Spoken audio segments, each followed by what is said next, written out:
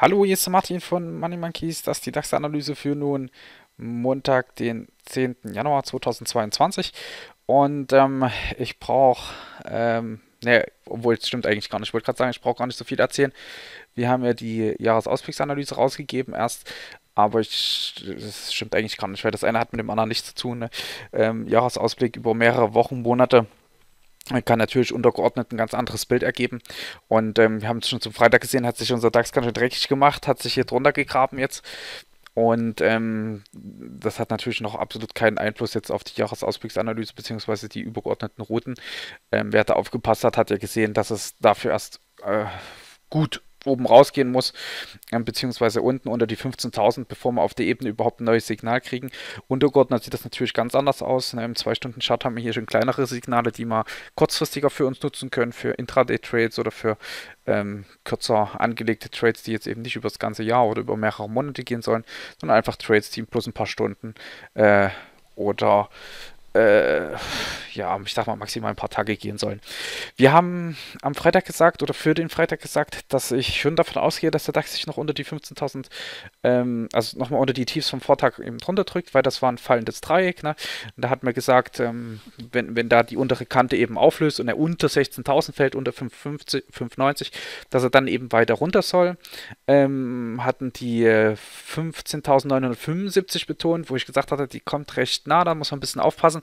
War auch tatsächlich so, hat er relativ früh drauf gezuckt und wirklich schon mal richtig deutlich nach oben reagiert, sich dann aber tiefer fallen lassen und dann die Ziele nach und nach abgeklackert, auch die 49, auch die 29 und selbst den Gap Close fast zugekriegt, ein bisschen fehlt da noch. Ähm, das kann auch sein, dass das nochmal nachgelegt wird, ähm, falls auch zum Montag nochmal nachgelegt wird und dann muss ich das zeigen halt. Also, ähm, ob es sich stabilisiert kriegt. Ich glaube, dadurch, dass es so zeitig vorm Gap gedreht hat, wird er ein erneutes Abdrehen ähm, dann auch tiefer gehen, tiefer gehen als diese 15,849 und dann schon rein in den Bereich um 15,7 87 bis 1547, das würde ich dann tatsächlich erwarten, wenn wir neue Tiefs kriegen, unter 15860, dass er in dem Bereich reingeht. Und richtig, richtig Substanz hat der auch nicht, muss man schon so sagen halt. Ne? Also ähm, das ist erstmal eine gute Supportzone, die kann auch erstmal gut gegenwirken. Ich würde dort aber eigentlich bloß eine Seitwärtsstabilisierung erwarten und dass es sich dann später noch hier Richtung ähm, gleitende Durchschnitt beziehungsweise vielleicht sogar untere Kante noch ein bisschen tiefer fühlt halt. Ne? Also da müsste man schon ein bisschen genau hingucken, dass er vielleicht ein 61er Retracement macht von der Bewegung, die jetzt hier stehen hat. Wo wird man da rauskommen? Wird man im Bereich um 15.530, also schon hier unten eher auf die Zone kommen und deswegen würde ich sagen, unterhalb der Tiefs der Vorwoche ähm, wäre 87, 57 die nächste wichtige Zwischenstation. Tiefer dann aber schon eher Bereiche um hier äh, 530, 560, 550. Ne? Also da würde ich schon fast so sagen, wenn der Bereich hier nicht hält, also dann wird es mich dann nicht wundern, wenn wir da noch einen ganzen Tacken tiefer gehen.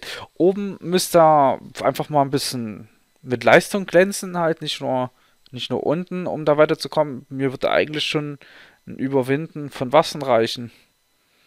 Mittlere Band 16.075, ja. Ein Überwinden von 16.075 würde nach oben erste Potenziale freilegen. Hoch zu 1,20, hoch zu 2,30. Dann können wir das vielleicht ein bisschen tiefer ziehen hier. Sagen wir über 16.075 würde sich erste Potenziale freischlagen bis 1,20, 2,30 erstmal als erstes Ziel und dann eben drüber hinaus auch mehr. Ne? Wenn da oben die 300 aufbricht, dann geht das auch weiter raus im DAX. Dann kann er da oben in die Short Squeeze reingehen und sich Richtung 365, 94 dann nach oben wühlen. Was dann natürlich auch im Sinne der Jahresausblicksanalyse, ne, die Potenziale freigeben würde, die wir dort besprochen hatten, mit 16.690 und so weiter. Ich hänge euch ähm, jetzt am Ende des Videos nochmal diesen, kommt so ein kleiner Bubble hier, äh, letztes, letztes gepostetes Video, da stelle ich euch den mal mit rein, den Link zur Jahresausblicksanalyse, wer sie noch nicht gesehen hat, könnt ihr ja nochmal mit reingucken. Und ähm, da haben wir nochmal das Bild im Großen und Ganzen dann. Ja, von daher braucht man hier eigentlich gar nicht mehr besprechen. Ha? Würde ich sagen, machen wir jetzt hier zu. Machen wir es schon aus. Relativ kurzes Video. Oh, ich habe heute, wir haben heute Webinar gehabt. Zweieinhalb Stunden, dann noch eine Stunde äh, Jahresausblicksanalyse, jetzt noch Morgenanalyse. Ich bin dann auch echt froh, wenn ich heute hier fertig bin, dass auf den Sonntag Äh, sitze hier seit um 11 dran mit Vorbereiten, fertig machen.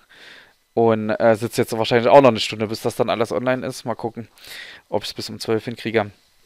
Ja, also von daher ist es okay, dass es mal ein bisschen kürzer ist. Und wünsche euch viel Erfolg zum Montag. Ähm, ich würde nicht zwingend das Risiko auf der Unterseite sehen. Nicht zwingend.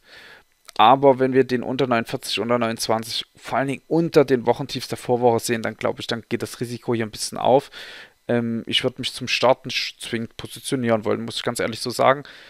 Hm, könnte mir auch vorstellen, dass er nochmal hoch an die 1620 stänkert, aber auf der Oberseite kriege ich erst das Long-Signal über 1675 und unten würde das nächste Verkaufssignal aktiviert werden, wenn wir jetzt hier quasi die, die tiefste Vorwoche unterbieten. Ja, gut. Also ich mache aus, wünsche euch was und dann hören wir uns morgen wieder. Bis dahin, tschüss.